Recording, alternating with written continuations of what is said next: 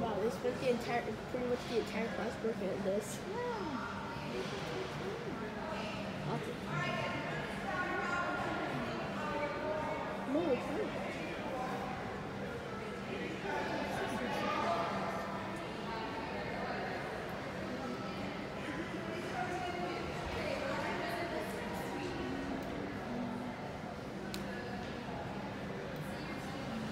There you go.